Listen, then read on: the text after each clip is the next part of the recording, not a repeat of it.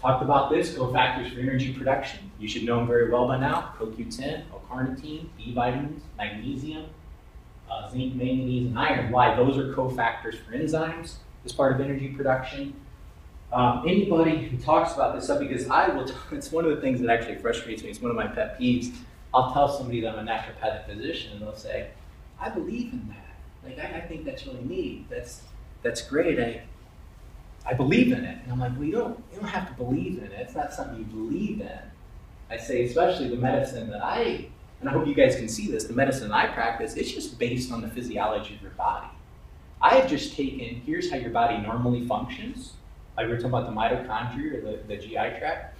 And I said, well, okay, if this is how the body normally functions, and these are its building blocks, what do we need to support that? If you're deficient in those building blocks, then your body's not going to function normally. So I'm just providing building blocks for it to function normally that don't have side effects.